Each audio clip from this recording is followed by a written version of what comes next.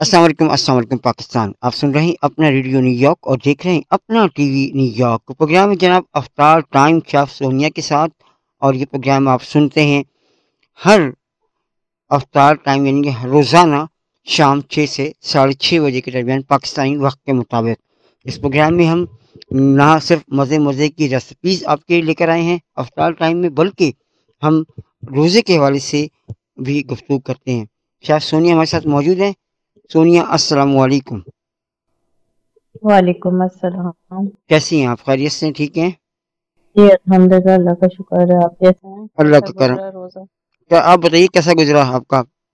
जी अल्हम्दुलिल्लाह मैं तो बहुत फ़र्स्ट क्लास गुजरा खैर से दूसरा रोज़ा भी अल्लाह के हुक्म से मुकम्मल हो गया और मौसम इतना अच्छा हम्म है कि यकीनन शुरू के ऐसा लगता है कि जिस तरह का मौसम है कि शुरू के दस रोज़े जो हैं वो बहुत ही ज़बरदस्त गुजर रहे हैं। बाकी आगे भी यकीनन मौसम अल्लाह करे अच्छा रहे ताकि बाकी रोज़े भी जो लोग हैं उनके अच्छे गुजरे। तो जनाब आज के जो अफ्तार टाइम है इसमें कौन सी चीज़ें लेकर आई हैं आप तमाम सुनने वालों के लिए?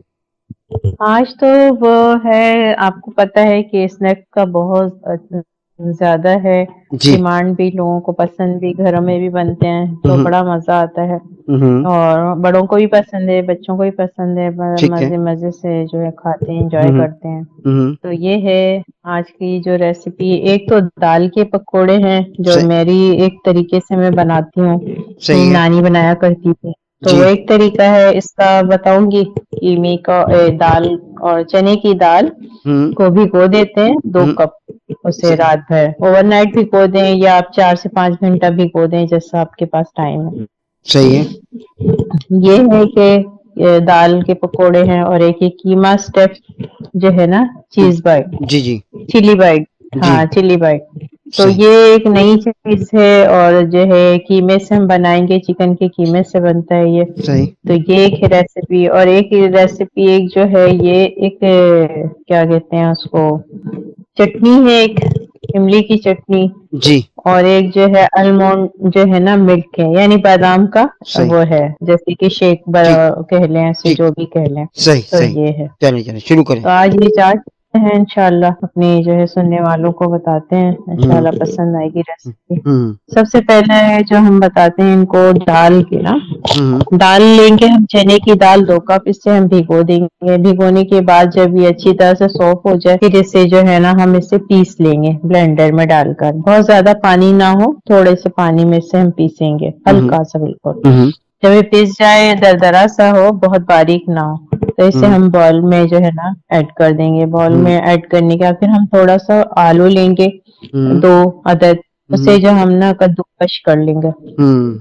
वो भी हम इसमें ऐड कर देंगे। और पानी ना हो आलू का पानी भी अच्छी तरह से निचोड़ के इसमें डाल देंगे। ऐसे थोड़े से पत्ते ले लें पालक के पत्ते दो से चार हम्म उसे बारीक बारीक जो है कट करके वो भी इसमें डाल दें। हरी हम्म। मिर्चें हरा धनिया टू टेबल स्पून जो है ना हरा धनिया हम्म। वन टेबल स्पून जो है हरी मिर्चें डाल दें। हम्म। और वन टीस्पून जो है कुटी मिर्च और वन टीस्पून जीरा पाउडर हम्म। वन टीस्पून धनिया पाउडर और वन टीस्पून जो है क्या कहते हैं उसको चाट मसाला। ये डाल के अच्छी तरह से मिक्स करें। मिक्स करने के बाद जो है ना आप इसे इसके पकोड़े बनाएँ। इसके हम्म पकोड़े बनाएँ। इमली की चटनी है हरी चटनी है उसके साथ आप सर्व करें। हम्म। बहुत मज़े का बहुत उम्दा बन के ये तैयार होता है। सही। तो ये बनाए ज़रूर। हम्म हाँ। सही। और अगली तो अब जो है कीमा स्टफ़ चिली बाइट जो है ना ये लेंगे हम हम्म। 500 ग्राम।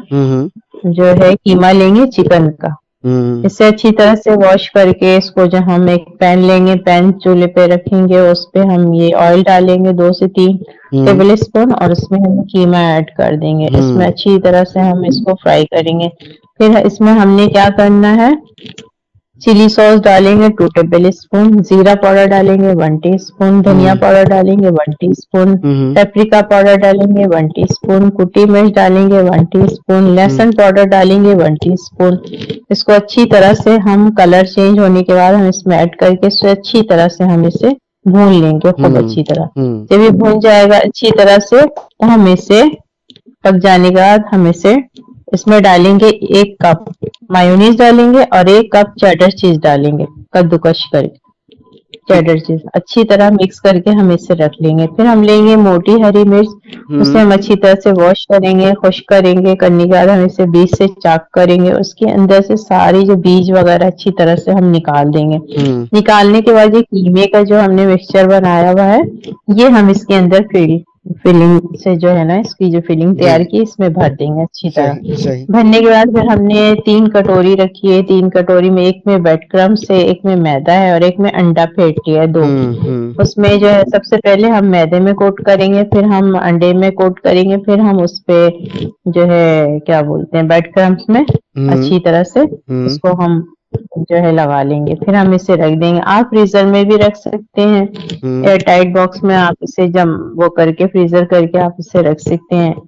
और निकाल के हफ़्ता दस दिन पंद्रह दिन आप इसे जो है ना फ्राई करके खा सकते हैं एंजॉय कर सकते हैं। सही सही। फिर इसे हम इसे फ्राई कर लेंगे। हम्म। थोड़े से स्लोस पे फ्राई करके और करने के बाद जो है ना ऐसे प्लेटर बनाएँगे और इसमें सॉस रखेंगे या केचप रखेंगे। हम्म। एंजॉय करेंगे मज़े मज़े से रमज़ान में। रमज़ान में।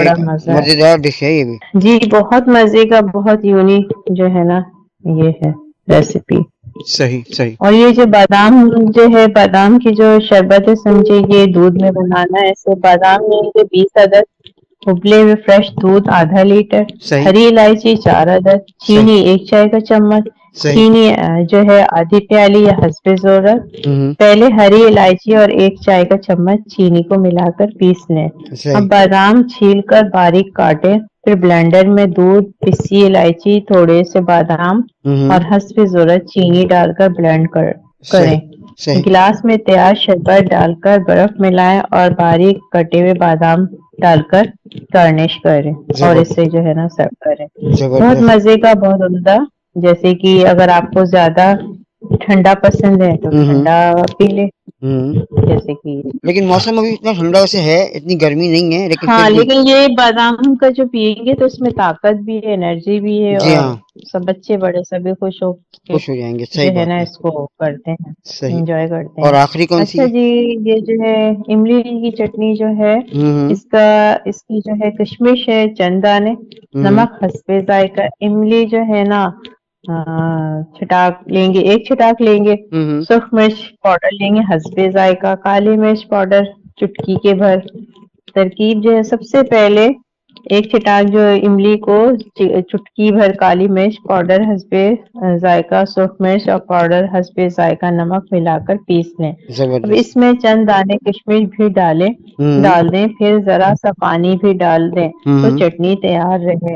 अब जो है इसे आप ठंडा करें आप उसमें जो है कटोरी में डालें या बोतल में भर के रखें। हम्म। बोतल में अगर आपको रखना है किसी जार में रखना है एयर टाइट जार में जार में रखना है हम्म। तो आपने क्या करना है थोड़ा सा इसमें जो है ना सिरका भी डाल दें। सही। ताकि इसका टेस्ट जो है ना बरकरार रहे। हम्म। और इसे ठंडा करके एयर टाइट है उसे बोतल में भर के आप इसे फ्रिज में रखें आठ दिन रखें दस दिन रखें फिर खत्म हो जाए फिर बना लें। अच्छा ये ये गला तो खराब नहीं करेगी इमली की चटनी है? नहीं नहीं कोई गला खराब नहीं करता। सही सही। कहने की बात होती है कि गला खराब हम्म सही। तो जनाब आज की मज़ेदार रेसिपीज़ आपने यकीन सुनी होगी शेफ सोनिया की ज़बानी और यकीन आप रमज़ान में इन रेसिपीज़ को ट्राई करें। अपना अपनी फैमिली के साथ रोज़ा अफ्तार करें और इन रेसिपीज़ को इंजॉय करें। और यकीनन मज़े मज़े की रेसिपीज़ अभी और मज़ीद आने वाली हैं। खैर से आज दूसरा रोज़ा जो है वो हम अफ्तारी करने जा रहे हैं उसकी लेकिन अभी तो बहुत है। हाँ, अभी तो हाँ। अट्ठाईस रोज़े बाकी हैं। नई नई रेसिपी आप लोगों नई नई रेसिपीज़ आपके लाती रहेंगे। शेफ सोनिया और इंशाल्लाह आप इसको एंजॉय करते रहेंगे। मुझे और शेफ सोनिया को याद दीजिए अपना बहुत सारा ख्याल रखिए। अपने आसपास में रहने वालों का बहुत सारा ख्याल रखिए ख़ास तौर पर सफ़ेद पोषणों का ख़ास ख्याल रखिए। अल्लाह हाफिज़।